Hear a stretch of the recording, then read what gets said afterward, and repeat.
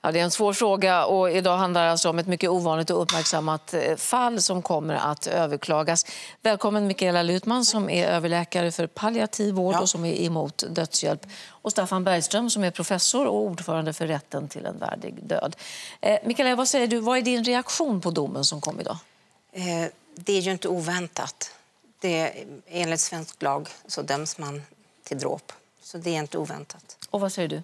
Jag tycker domen är grotesk därför att alternativet hade varit om den här familjen hade haft pengar. Då hade de åkt till Schweiz och gjort precis samma sak med hjälp av medicinsk expertis i Schweiz. Och då har de gått fria från straff och kommit hem eh, till Sverige och precis exakt samma resultat men utan straff. Mm.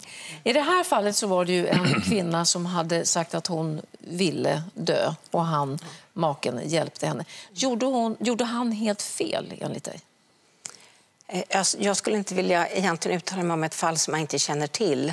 Ehm, jag anser ju att eh, det finns så mycket man kan göra för att hjälpa svårt sjuka människor som man förmodligen inte har gjort i det här fallet. Men jag kan ju ingenting om just vad som har hänt här för att jag kan säga det.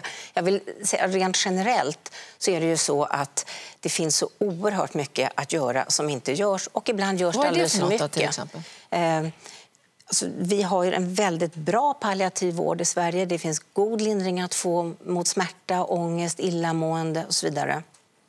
Men den är ojämnt utbyggd över landet och den är ojämnt utbyggd också inom sjukvården. Det finns specialiserade palliativa enheter som är väldigt bra på det här. Det kan vara mycket sämre på till exempel äldreboenden eller i akutsjukvården. Och jag ser också ett väldigt stort problem med sjukvården som jag ändå tycker har minskat under de år jag har jobbat. Men att man överbehandlar väldigt mycket. Att man inte låter människor som inte vill ha mera behandling får avsluta behandlingarna. Men ska, vad, vad, säger du, räcker inte den palliativa vården? Jag tror inte att den palliativa vården klarar allt och det är utgångspunkten för vår eh, inom rätten till en värdig död, vår riksförening. Vi strävar naturligtvis efter att få en så bra och fullständigt täckande palliativ vård som möjligt. Men vi inser, och det, erfarenheten visar det i Sverige och många andra länder, det räcker inte och då måste vi ha något mera. Nu finns det ju en möjlighet att, att vara nedsövd till dess att döden inträffar. så att säga. Mm. Eh, varför Man har ingen rätt det? som patient att göra det. Det är läkarens beslut. Som Vad säger du om det? När det gäller palliativ sedering, alltså att man får sova den allra sista tiden, så är det ju viktigt att komma ihåg att det är någonting som gäller den som är döende, det vill säga alldeles i slutet av livet. Det handlar inte om att som har framförts i debatten ibland, att man tar livet av folk genom att söva dem när det är tid kvar så att de svälter ihjäl medan de sover. Det handlar det inte om.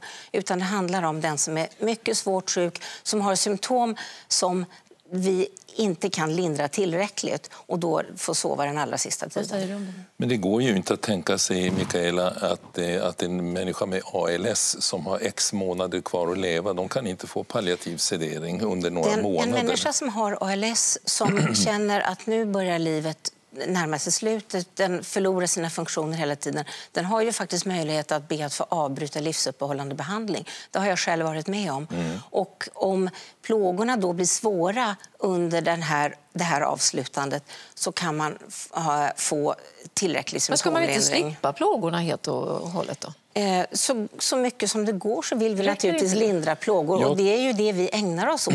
Vi kan inte lova att vi kan ta bort allt lidande, naturligtvis i varje fall. Men vi kan alltid lova att vi kan göra det bättre. Mm. Men den palliativa vården klarar inte allt. Är överens om det? Den palliativa vården kan inte nå hela vägen fram Nej. i precis alla fall. Då, Naturligtvis inte. Mm. Det finns ju ingen eh, behandling som kan klara exakt Nej. allt. Men vi säger att dödshjälp finns i Sverige om ett tiotal år eller så. Mm. Hur ska en läkare kunna avgöra vilken människa som ska få dö? Det finns 20 års erfarenhet, 22 års erfarenhet från, från Oregon. Och I åtta delstater i USA så finns den här erfarenheten mellan, mellan ett par år och upp till 22 år. Och det finns väldigt mycket forskning som visar att det här går. Och det inte, handlar inte om Benelux utan det handlar om helt andra striktare krav på patienterna. Men även, även Oregon-modellen är ju full, har ju fullt av problem. Till exempel patienten kanske är beslutskapabel när den får de här läkemedlen utskrivna. Vem garanterar att patienten är det vid dödsögonblicket? Det är väldigt få fall där läkare eller annan sjukvårdspersonal är närvarande och kan se mm. vad som händer. Vi får, Hur kan vi bedöma? Vi får avsluta där. Tack så mycket båda två för att ni kom. Det är en debatt som helt säkert kommer att fortsätta.